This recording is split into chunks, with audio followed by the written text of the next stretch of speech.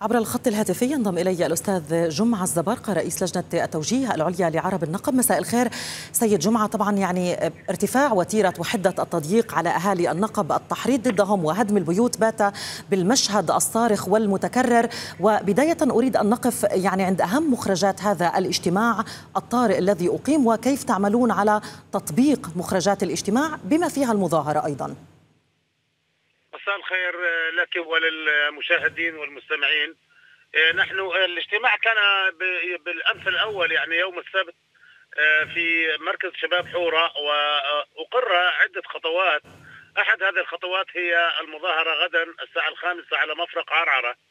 وأيضا بناء خيمة احتجاج أمام في منطقة الهدم والوقوف مع الأهالي من أجل جمع يعني اعاده إعادة البناء ثانية. يعني هذه أبرز الخطوات التي أتخذ فيها القرارات. ونحن بما يخص بصدد بالاساس بالأساس أهم شيء الآن في هذه الدقائق هو أن نعمل على أن ننجح المظاهرة غدا على مفرق عرعره من أجل إرسال رسالة إلى هذه الحكومة الفاشية بأننا لن نرحل ولن نهاجر إلى أي مكان آخر. يعني وزير من حكومة تقوم يعني بكل وقاحة وبكل حقارة ونذاله بقوم بيقوم وزير بمرافقه جرافات الهدم ومراقبتها بنفسه. يعني هذه سابقه لم تكن في السابق. كانوا يعني يقومون بالهدم ولكن الوزراء لا يشاركون في في هذه الجريمة.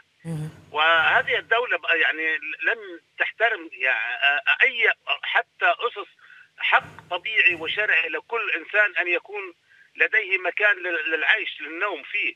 يعني جريمة نكراء يقومون بهدم عشر منازل وأبقاء عائلات منهم أطفال ونساء تحت السماء والطارق.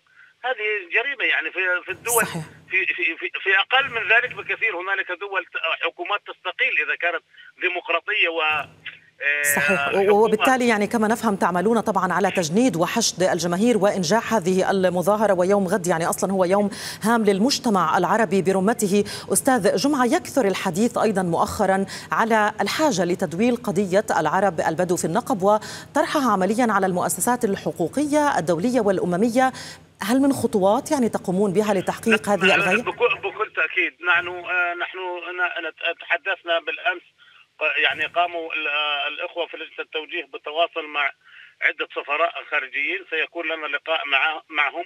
واقترحنا أيضا ان أن نجلس بال في الخط كخطوة أولى مع السفراء